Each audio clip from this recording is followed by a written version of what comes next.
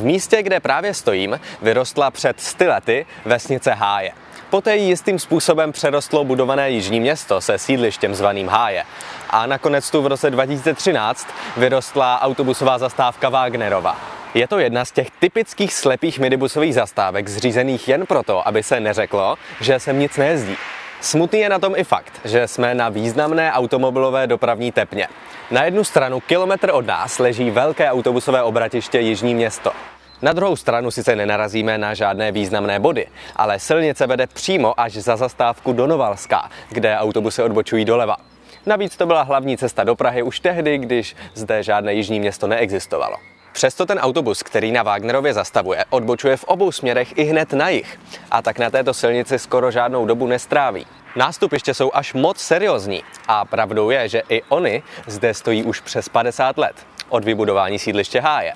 Jen nevím o žádné lince, která by sem do roku 2013 jezdila.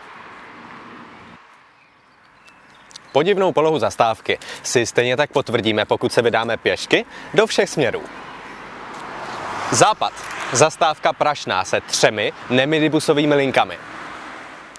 Jich. 300 metrů zastávka Poliklinika Háje, kam jede ten autobus oklikou. Dalších 300 metrů stanice metra Háje, kam jede ten autobus ještě větší oklikou. Východ. Nic extra. Můžeme zmínit základní školu, která je stejně dobře dostupná třeba z Horčičkovy. A na severní straně silnice nalezneme zvláštní sídliště, tvořené malými řadovými dvoupatrovými domy, a to se musí uznat, pro dopravní obsluhu těchto obydlí zastávka zcela bezvýznamná není.